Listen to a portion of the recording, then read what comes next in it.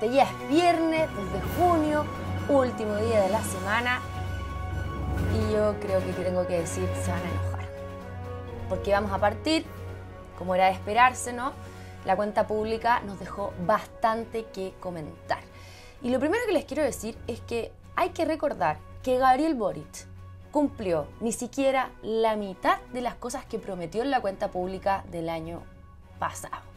Importante considerar porque este año se comprometió con algunas otras más cosas. Y como no, telepensantes, esta fue la cuenta pública más larga de la historia de nuestro país. Más larga que la de Elwin incluso, al más puro estilo dictador totalitario. O tal vez será porque es narcisista y quiere pasar a la historia con este tipo de tontera.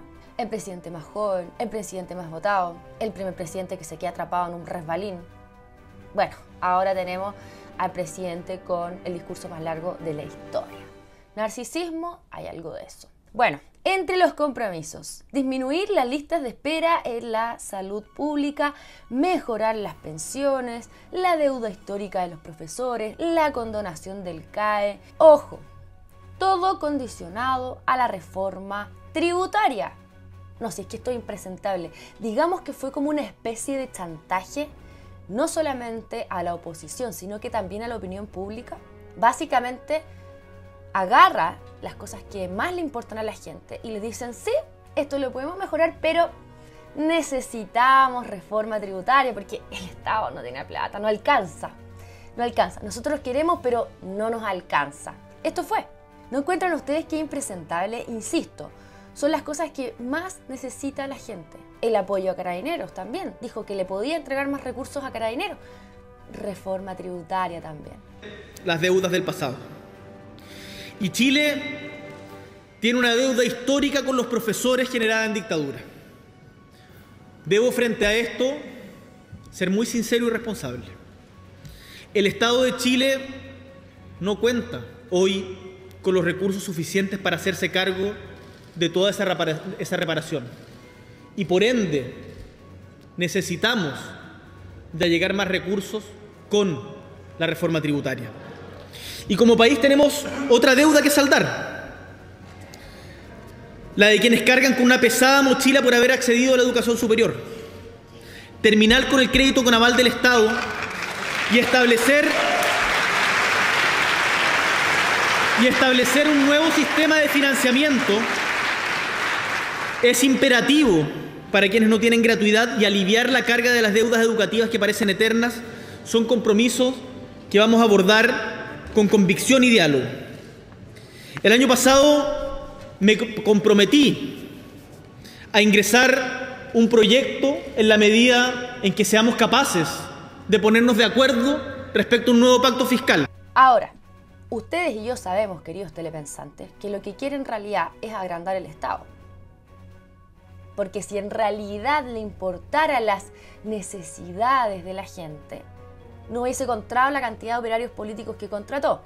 Claro, quiere disminuir el empleo, pero contratándolos en el Estado. ¿Por qué? Porque quieren que seamos dependientes del Estado, porque quieren tener el poder sobre la población, entregándoles estos famosos derechos sociales, entregándoles trabajo, entregándoles viviendas. ¿Y para qué quiere agrandar el Estado? Bueno, para que después sea imposible gobernar. Si esto es lo que hace la izquierda. Porque pedirle a los chilenos más plata, plata que no hay, plata que no tenemos, para pagar exactamente lo mismo, pero que pase primero por el Estado, por el aparato burocrático, me parece ya de un nivel de indecencia y descaro. Pero no se preocupen, que ya vamos a hablar de eso más adelante. Ofreció también 50 mil millones de pesos para incentivar el empleo, y yo insisto, espero que esto no sea contratando más gente en el Estado y ojo con esto, destacó el trabajo de la comisión de expertos. Y aquí ya nos vamos con los primeros indicios de lo que vamos a hablar más adelante. De hecho, hizo mea culpa al respecto, porque él fue súper crítico con todo esto, pero destacó la pega que ha hecho la comisión de expertos. Recuerdan que el Partido Comunista hizo un comunicado diciendo que van a extremar su postura porque claramente le fue mejor a la extrema izquierda que a la centro izquierda en las elecciones de constituyentes. Y también nos informa el Partido Comunista que esta es la constitución habilitante que ellos necesitan. Recuerden también que el Partido Socialista presentó una reforma constitucional a la constitución vigente para poner en el plebiscito de salida una tercera opción que diga que los chilenos se quieren mantener con la constitución redactada por la comisión de expertos. Esto es una parte importante de lo que les quiero explicar el día de hoy, telepensantes. O sea, vamos juntando los cables. Sigamos avanzando. Como la guinda de la torta defendió Gabriel Boric ayer a Loncón, a Marco Antonio Ávila, ministro de Educación, ¿cierto? A Marisela Santibáñez y a Fabiola Campillay, sus íconos, sus referencias de la lucha social. ¿ya? Entonces, obviamente tenía que defenderlos. A mí me parece impresentable. Y hasta aquí, telepensantes, todo lo que les he dicho está en los medios de comunicación convencionales. Es relevante, sí, pero lo que vamos a hablar ahora es más relevante todavía y ha pasado colado. Y es por eso la importancia, telepensantes, de estos medios de comunicación, porque decimos lo que ellos no quieren que ustedes sepan. Y yo sé que no lo saben, no porque, porque no sean responsables o qué sé yo, o sea, ¿quién tiene el tiempo de ver una cuenta pública de tres horas y media telepensantes? La idea es que la prensa se haga cargo de este tipo de cosas y entregue la información importante. Pero bueno, insisto, esto no es que haya sido irrelevante, pero lo que viene ahora es más importante. Vamos a ver ahora otro video de Gabriel Boric. Las personas neurodivergentes que sé que nos están escuchando atentamente, al fin son reconocidas por el Estado. Hablando de las neurodivergencias, recuerdan, telepensantes, porque es súper importante que no se pierdan los capítulos, para que vayan juntando los cables de cómo se van dando las cosas. ¿Recuerdan el comunicado del el petitorio que mandó el Instituto Nacional, que recuerdan estaban en toma y enviaron un petitorio de siete páginas? Este, lo analizamos en un programa anterior. Y entre otras cosas hablaban los cabros de la neurodivergencia. Entonces sale después Gabriel Boric en su cuenta pública hablando de la cuenta, hablando de la neurodivergencia. ¿Y ustedes creen que esto es casualidad? No, porque lo que ellos buscan es forzar desde las bases de la ciudadanía este tipo de discurso. Entonces después salen ellos hablando de exactamente lo mismo, para que esto pareciera un fenómeno natural, que no lo es, es artificial.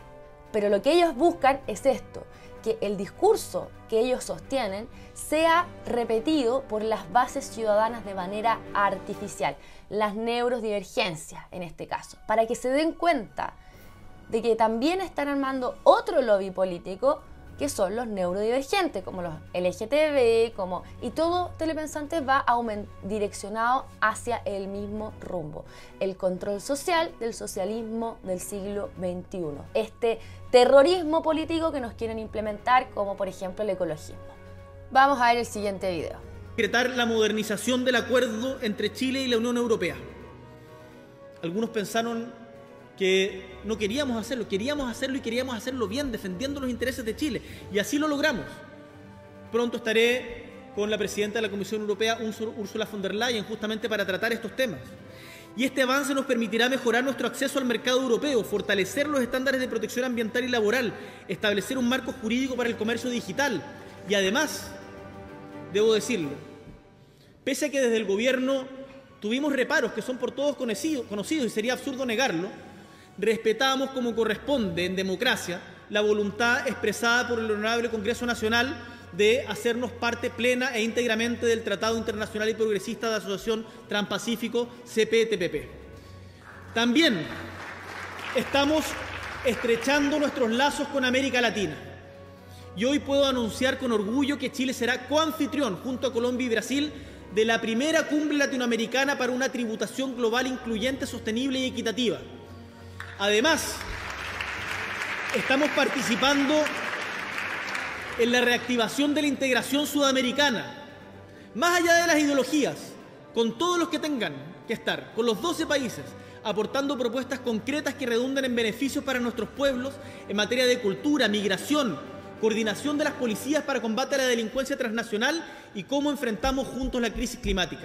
Y las palabras claves acá son Estado Social y Democrático de Derechos. Habla de la Cumbre Nacional para la Tributación Global Sostenible, Incluyente y Equitativa. Telepensantes. Esto nos salió en los medios de comunicación.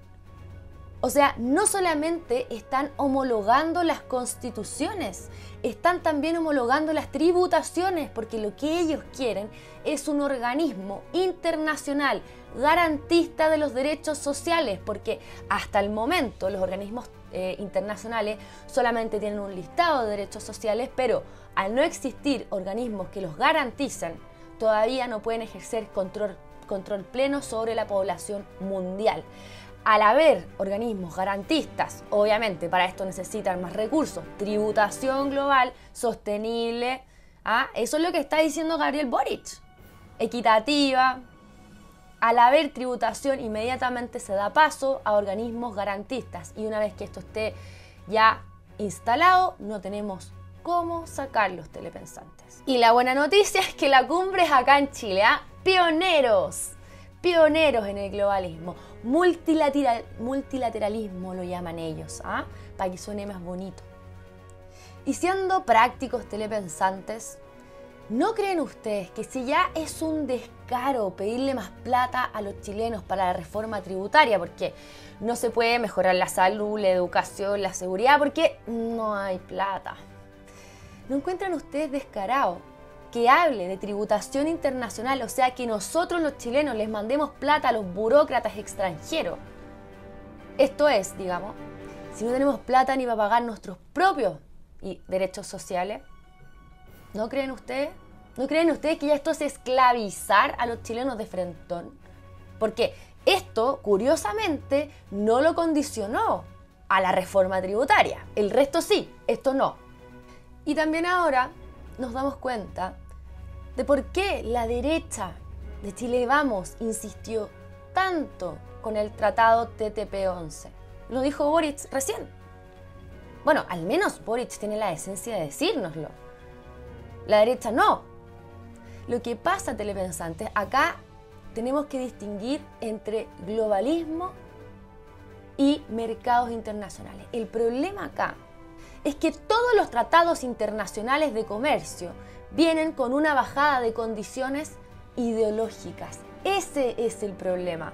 No solamente son tratados de comercio como por ejemplo el TTP-11, sino que lo que hay detrás de todo esto, la letra chica, digámoslo así. Ok, nosotros firmamos un tratado de libre comercio con ustedes, pero ustedes tienen que hacernos caso en esto, esto, esto, esto, esto. Y ahí vienen todos los objetivos de desarrollo sustentable y todo este terrorismo político.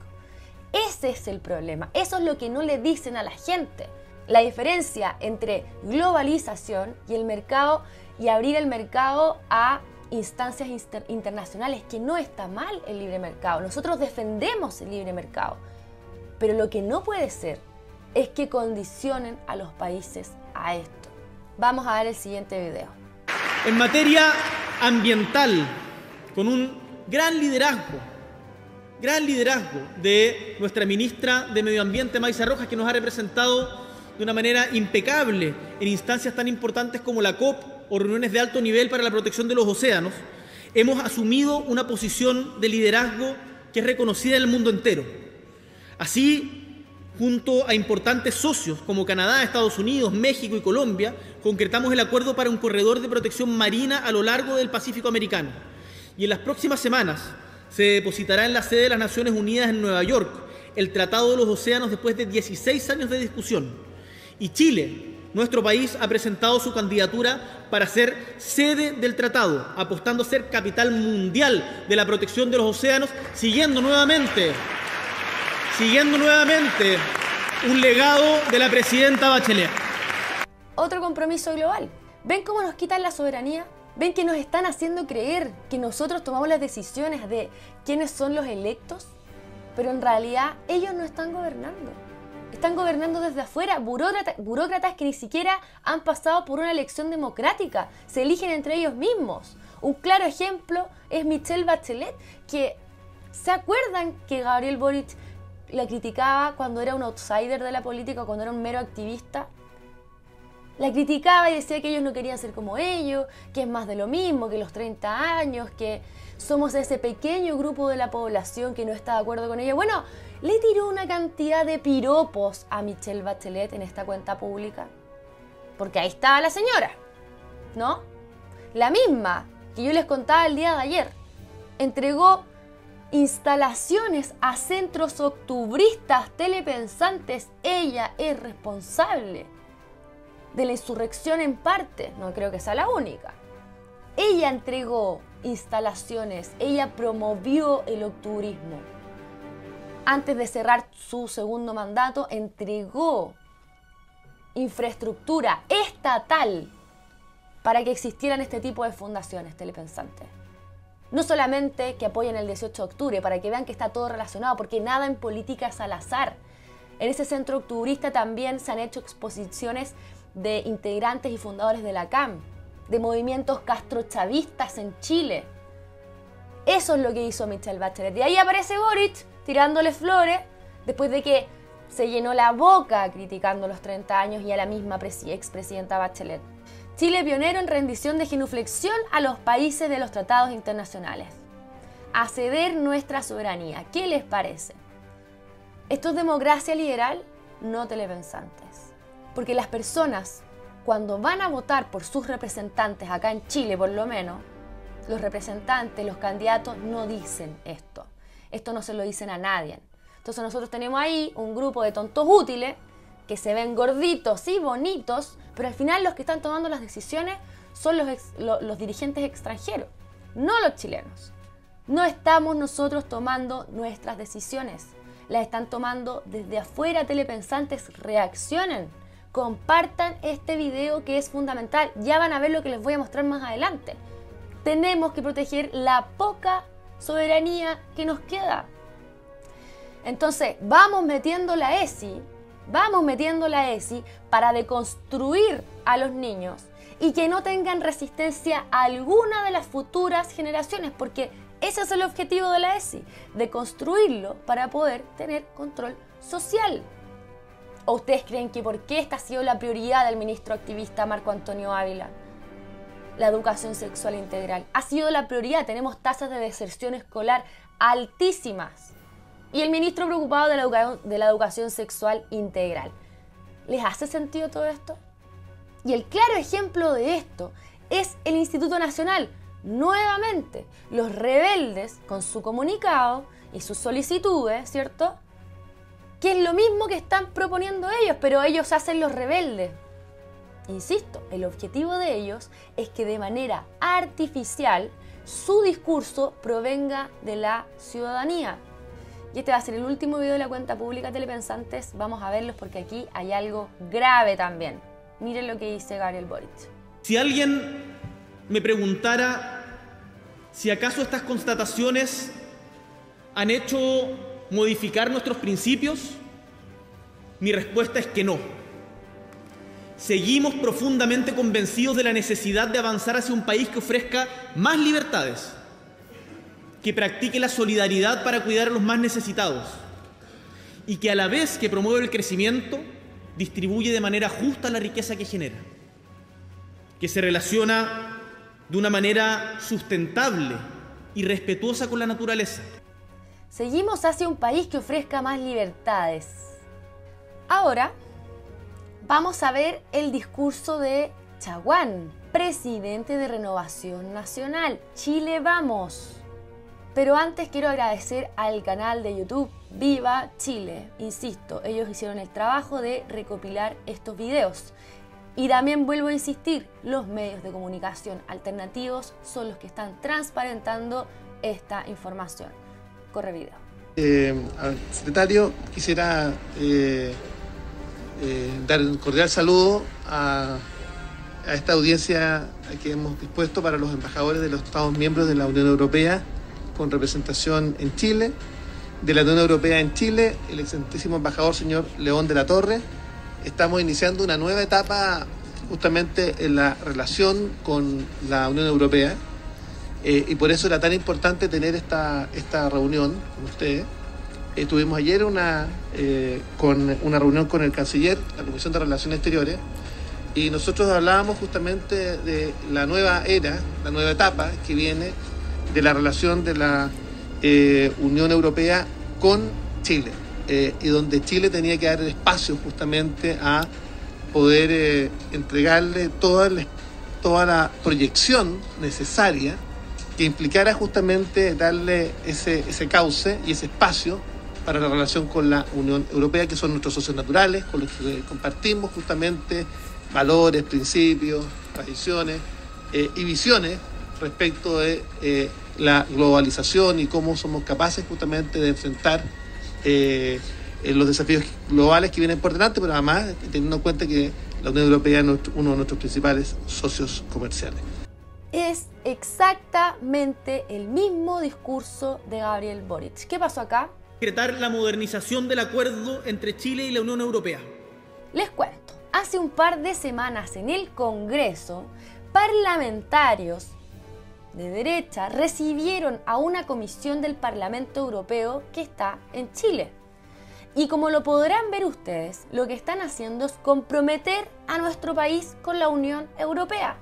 No era como que somos un país que se independizó, un país soberano, que ya no somos colonia.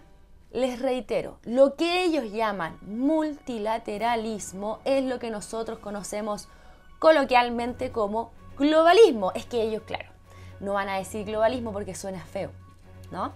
Vamos a ver más de estos videos, porque es fundamental que ustedes sepan la verdad telepensantes. Y además, presidente de la Comisión de Derechos Humanos, eh, quiero señalarle que eh, tenemos un firme compromiso.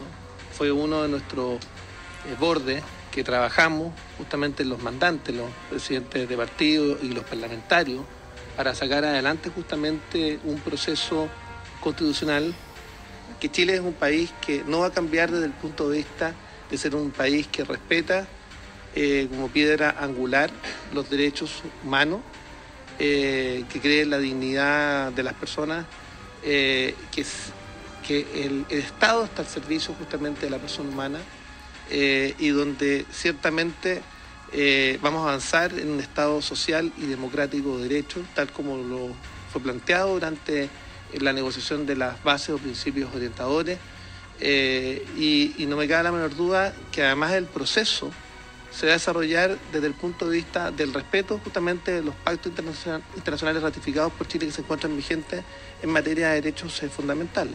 Estamos convencidos además que los desafíos que tenemos son eh, colectivos y son globales. cada país tiene fórmulas, por supuesto, para enfrentar esas dificultades, pero, pero acá tenemos un, una trama de tratados internacionales que, son lugar a duda una piedra angular de nuestra política exterior, da justamente por nuestro respeto al multilateralismo. republicano que fue electo en la elección con la bandera republicana y fui presidente del Partido Republicano. Y quiero eh, adherirme al tono que han escuchado del senador Chaguán. Bueno, ellos que representan así, así, a un grupito chiquitito de la población y que cada vez representan menos, hablan por todos nosotros. ¿Se dan cuenta ahora de por qué les surgía el nuevo proceso constituyente? Porque ellos ya tienen todo pactado con la Unión Europea.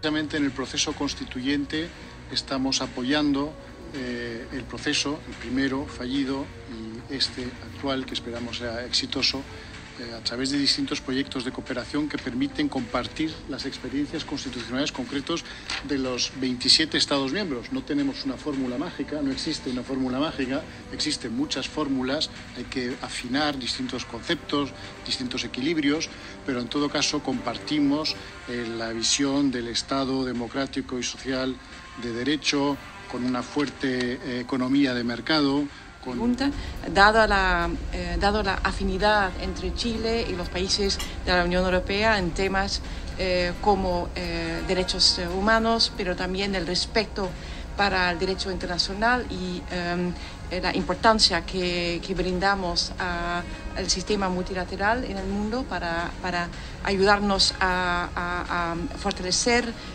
paz y seguridad internacional y también el derecho de, Estado de Derecho internacional. Em, quería em, eh, referir al proceso constituyente eh, de reforma constitucional que está de nuevo en plena marcha después de las elecciones. El Consejo eh, va a trabajar en los meses próximos a un proyecto em, para una nueva constitución. Claro, hay 12 bordes definidos. En esa definición, el Senado y la Cámara de Diputados jugaron un papel fundamental. Uno de esos bordes también refiere a los derechos eh, humanos, al multilateralismo, incluyendo la, eh, claro, el rol de instituciones como eh, las Naciones Unidas, podrían encontrar un, lugar en la más fortalecida aún, en respecto a lo que hay ahora, en la nueva Constitución. Ellos ya se reunieron con la comisión de expertos del nuevo proceso constituyentes es más, les entregaron una guía. Y así como el proceso anterior también fue guiado por organizaciones internacionales, recuerden que estuvo también involucrada la ONU, se reunió con ellos a puertas cerradas Elisa Loncón, ahora tenemos a la Unión Europea, metida porque claro, la ONU de nuevo sería como feo, ¿no? Eso ya se rechazó, ahora hay que cambiar y renovar todo, entonces ahora está la Unión Europea interviniendo en la soberanía de nuestro país. Y ustedes se preguntan de nuevo, ¿por qué esto no, no sale en la prensa? ¿Habrá salido con suerte un titular por ahí? ¿Por qué la prensa no habló más de esto? ¿No creen ustedes que, que congresistas, que parlamentarios se reúnan con el Parlamento Europeo, ni más ni menos telepensante? ¿No creen que esto sea importante? ¿Que es una gran autoridad la que viene a Chile a reunirse con nosotros, los del tercer mundo? Y miren ustedes qué importante, y no sale en la tele, no sale en la prensa. ¿Por qué lo esconden si es algo tan bueno y maravilloso y fantástico? ¿Ustedes lo sabían? Yo estoy muy segura de que pocos chilenos han visto esto. Así que sigamos distrayendo a los chilenos con las payasadas del merluzo. Y aquí ustedes saben, telepensantes, que yo no los digo desde la amargura. Todo lo contrario, ustedes saben que en general el contenido que realizamos en este canal o, en mis canales personales es un contenido alegre, desde el amor, desde el cariño a este país, con alegría, con chistes, con, con humor, digamos. Esto telepensantes no lo digo desde la amargura, pero ya esto está traspasando todos los límites. Nuestra soberanía está en riesgo. Sigamos entonces también manteniendo aterrada a la población. El miedo es la mejor y más simple forma de gobernar. Nadie puede decir que en Chile la gente está aterrorizada con todo lo que está pasando. Aparecen descuartizados prácticamente todas las semanas.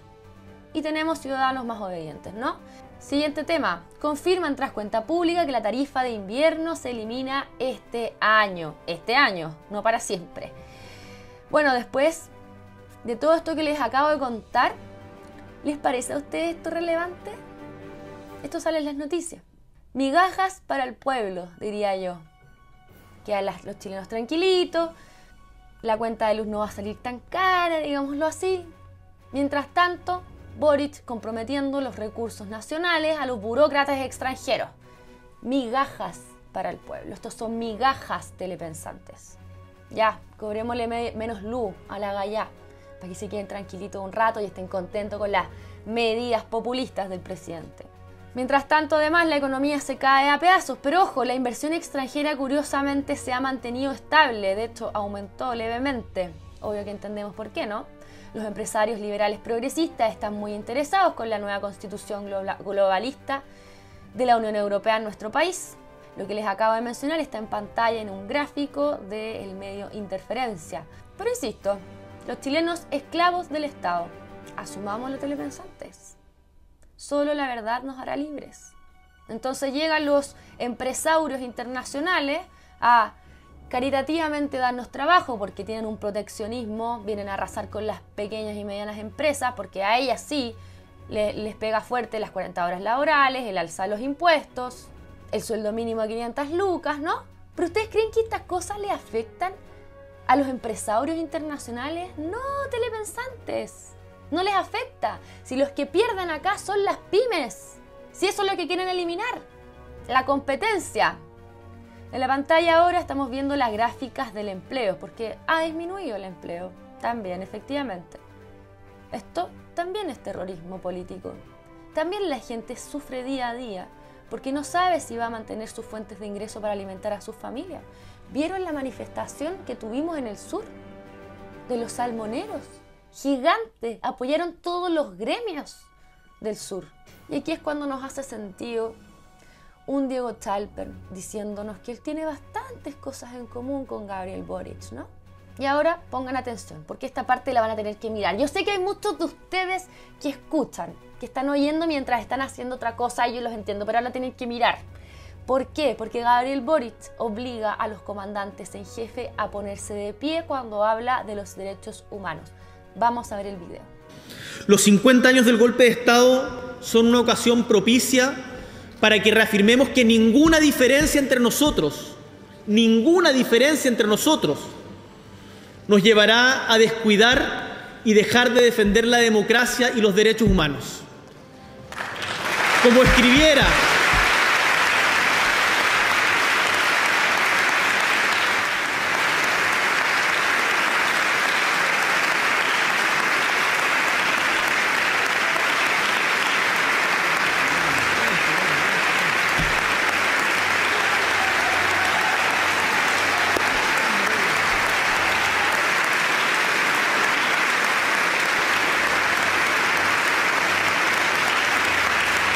¿Se dieron cuenta?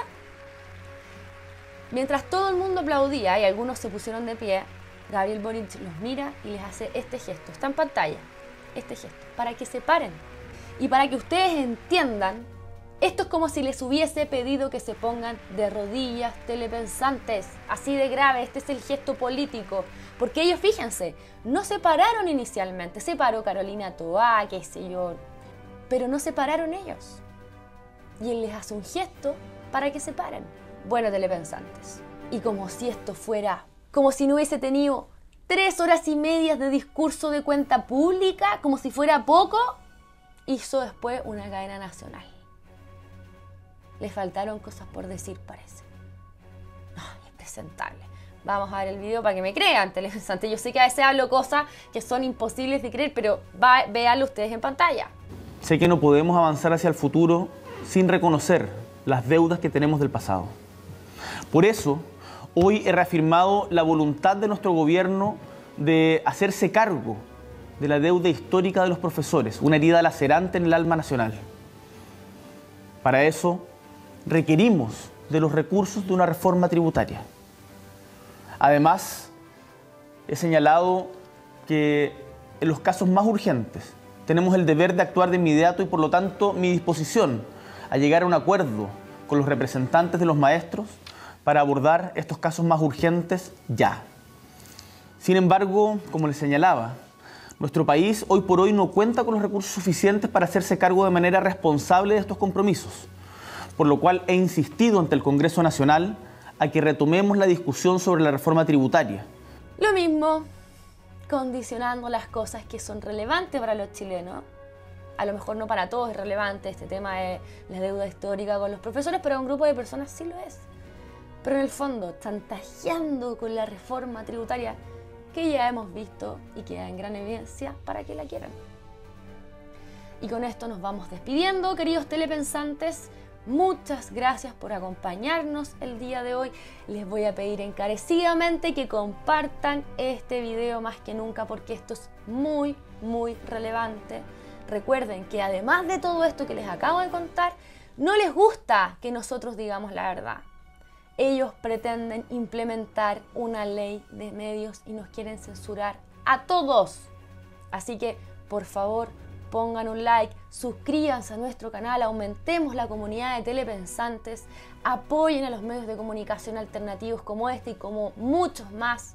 Y bueno, les traje un video a continuación para ponerle una cuota de humor a todo lo que aconteció el día de ayer. Soy Claudio Ormeño para Esfera Pública. Que tengan un excelente, perdón, pero realmente se los deseo, que tengan un excelente fin de semana junto a sus familias y seres queridos. Chao. Pero también yo creo que el presidente eh, tiene esa virtud que no tienen todos los presidentes eh, del mundo, de nuestra historia de Chile, de poder marcar una orientación moral hacia la nación una orientación, un liderazgo, eh, digamos, espiritual de hacia dónde va la micro, hacia dónde va la democracia.